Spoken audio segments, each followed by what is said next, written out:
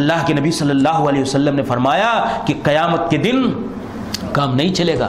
لتؤدن الحقوق الى اهلها حتى يقاد للشات الجلعاء من الشات القرنا کہا کہ یہ انسان تو انسان ایک حیوان جو جس کو اللہ رب العالمین نے عقل و شعور نہیں دیا ہے، جس کو بصیرت نہیں دی ہے، سوچ اور سمجھ کی صلاحیت نہیں دی ہے، کہا وہ بھی اگر جانوروں میں سے کوئی جانور کسی کے ساتھ ظلم کرے گا، نہ حق کسی کے ساتھ زیادتی کرے گا، کسی کی حق تلفی کرے گا، تو اللہ رب العالمین قیامت کے دن اس کو بھی اس کا بدلہ دلائے گا اور ایک انسان اس کی کیا حالت ہوگی؟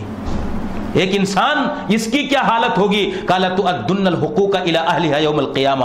قیامت کے دن سارے کے سارے حقوق لوگوں کو ادا کیے جائیں گے۔ یہاں تک کہ اگر کسی بے سینگ بکری والی کو صحیح مسلم کی روایت ہے، حتی یقاد للسات الجلعاء من السات القرنا کہا کہ جو چپ رہے گی، زبان خندر لہو پکارے گا آستی کا۔ قیامت کے دن کام نہیں چلے گا۔ کسی نہ کسی حال میں اللہ رب العالمین اس آدمی کا بدلہ اسے دلائے گا۔ کہا کہ اگر کسی بے سینگ والی بکری کو کسی سینگ والی بکری نے بھی ستایا ہوگا، ظلم کیا ہوگا، اس کا بھی بدلہ دلایا جائے گا۔ یہ ایک جانور کا حال۔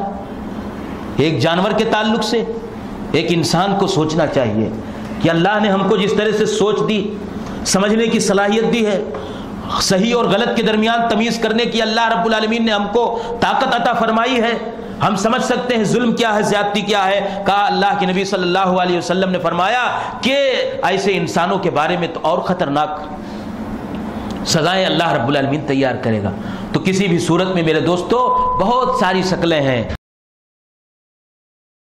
ومن احسن قولا ممن دعا الله وعمل صالحا وقال إنني من المسلمين.